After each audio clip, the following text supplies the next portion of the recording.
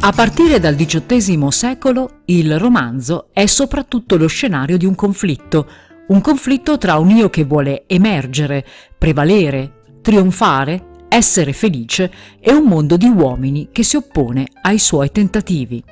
Questo aspetto si riflette nelle scelte narrative, soprattutto nell'adesione totale alla verosimiglianza del racconto. Per rendere verosimile un racconto e fare in modo che chi legge sia portato a credere a ciò che gli viene narrato, la strada più semplice è quella della narrazione in prima persona.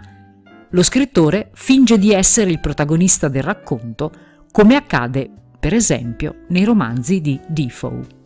Ma per dare al lettore un'impressione di completa verosimiglianza, per aderire davvero ai pensieri e ai sentimenti dei protagonisti, non c'è niente di meglio che ricopiare, o meglio fingere di ricopiare, le loro lettere. Per questo, soprattutto in Francia, dove la corrispondenza epistolare diventa, nel corso del Seicento e del Settecento, una vera e propria arte, gli scrittori cedono spesso la parola ai loro personaggi.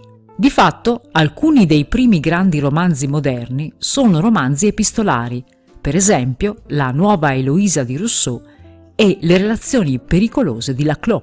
Ma questo modello finisce poi per travalicare i confini francesi.